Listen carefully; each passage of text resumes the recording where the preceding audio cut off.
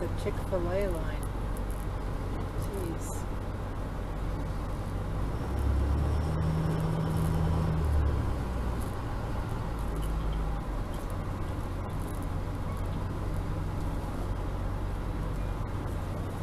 Oh, man, that's gonna be tight. Yeah. Why do they have that stupid yellow thing there?